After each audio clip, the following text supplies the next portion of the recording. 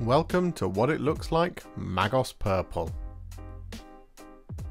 First up, we have Magos Purple over Grey Seer.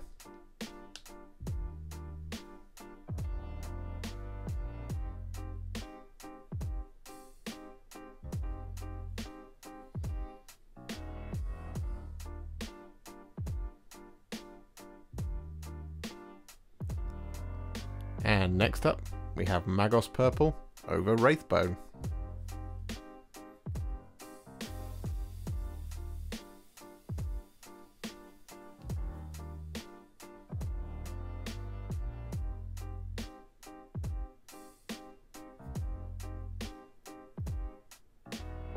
And there we have it, Magos Purple over both of our contrast primers. This one is Grey Seer, and this one is Wraithbone.